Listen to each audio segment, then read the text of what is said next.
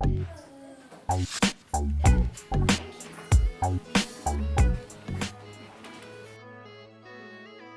my name's Imogen and this is my iPad.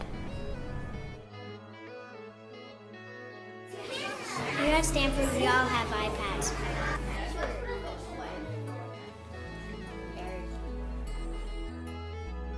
We take our iPads everywhere. I think the thing that sticks out the most is how much technology we have now to use to support the children's learning and to make the curriculum so much more exciting and relevant to this age which is so technologically driven. I still use tried and true uh, methodology and pedagogy um, that I've been using for, for years, but we now integrate a lot of the technology. We're taking visual learning to a whole new level. One of our goals of, of the students coming out of our school is that they'll be prepared for the future. And people spend a lot of time, you know, trying to figure out what that's going to look like. What kind of skills do these our students going to need in 20 years? We want our students to be creative. We want them to be innovative with students, who knows, potentially coming up with a patent. Um, but we want to give them opportunities to create and make contributions to society.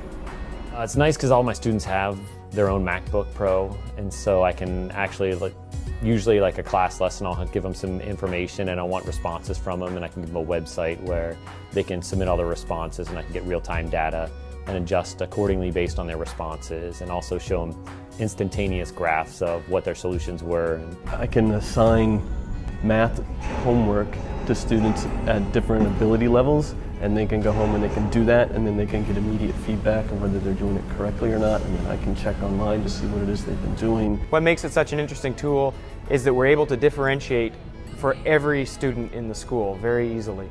Uh, one student's iPad is not like another's, just like no two students are the same. They have different learning needs, they have different learning styles, and with the iPads and each student having their own, it, it makes learning much more customizable for every student, helping them achieve the most that they possibly can.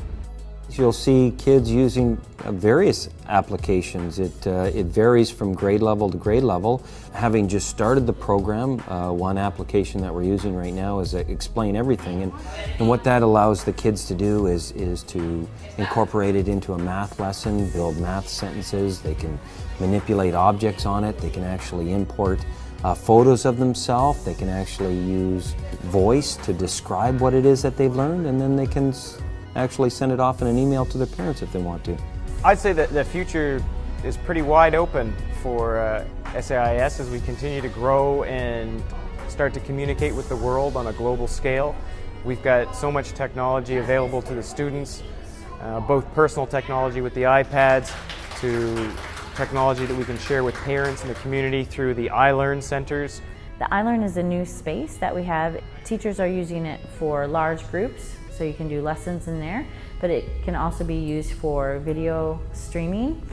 That will help us interact in Skype and talk to experts in the field. It's quite remarkable to see so much technology available to the students and where they're at now and where they're going to be is going to be really interesting to see.